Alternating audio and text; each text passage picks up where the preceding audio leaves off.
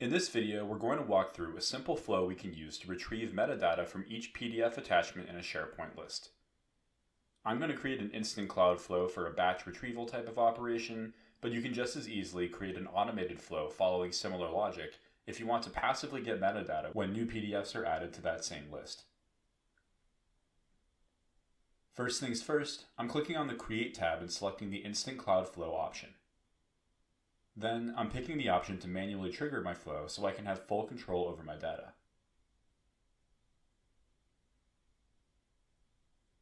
On the flow diagram page, our first step is to get the list we want to retrieve attachments from.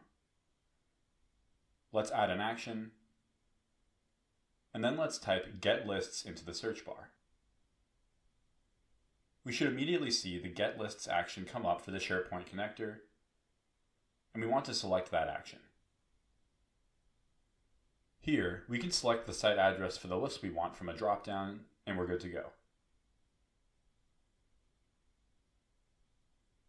Now that we've retrieved our list, we can now retrieve our list items. Just like before, let's add a new action, and then let's search for the Get Items action.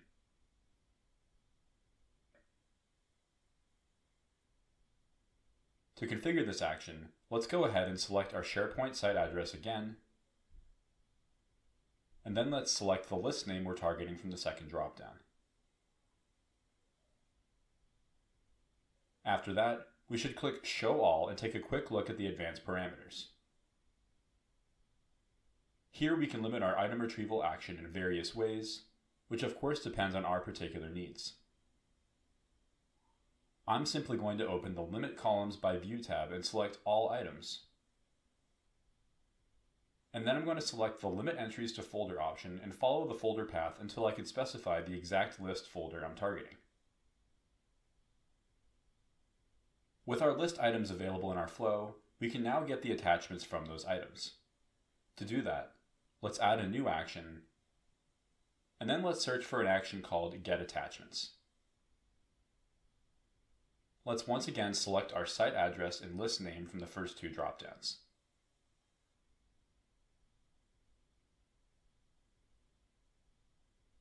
Next, let's fill in our item ID using dynamic content from our get items action. Once we do that, Power Automate will automatically wrap our action in a for each control to cycle through each item on our list when we run our flow. Now we're in the home stretch. We've retrieved file attachment identifiers from our list items, but we still need the actual file contents themselves to retrieve file metadata. From within the for each control, let's add a new action, and then let's type get attachment content into the search bar. Let's select that action when we see it, and then let's do the usual site address and list name selection once again. Below that, let's select our item ID value once again and then let's grab the file identifier value from our get attachments action in our final field. Just like before, Power Automate will wrap this action in its own for each control. Now we have the file bytes we need to get metadata from the PDFs on our specified SharePoint list. There are a couple ways we can do this, depending on our preferences. On this channel, however, we're of course going to handle our metadata retrieval action using the CloudMersive PDF connector. Within the get attachment content for each control, let's add a new action, and then let's type CloudMersive into the search bar. Below, we should see the CloudMersive PDF connector pop up with the pink logo. If we haven't used this connector before, we need to authorize our connection with a free API key to make our API connector requests. We can get one of those by registering a free account on the CloudMersive website.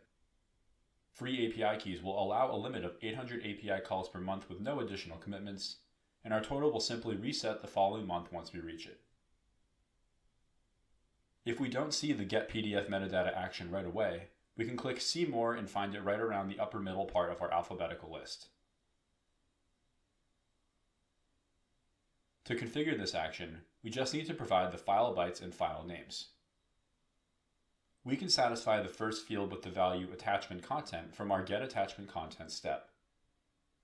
And then we can satisfy the second field with the display name value from the get attachment step. This action retrieves each line of our metadata object as dynamic content in our flow, so we can use it however we want. We could, for example, update our list items with document metadata. If we add a new action in the same for each control, then search for the update item action, and then configure our site address, list name, and item IDs like before, and then click Show All in our advanced parameters, we can customize an advanced parameter called title, which is the name each item displays when we look at our list in SharePoint. If we fill this with dynamic content from our metadata retrieval step, we can use the author of the attached document in our title, and we could concatenate that with any other metadata that was important to us.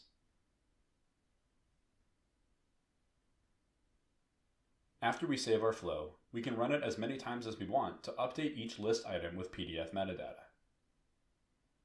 Like I mentioned earlier, we can just as easily create an automated flow with similar logic to autonomously update each time a new PDF is added to our list.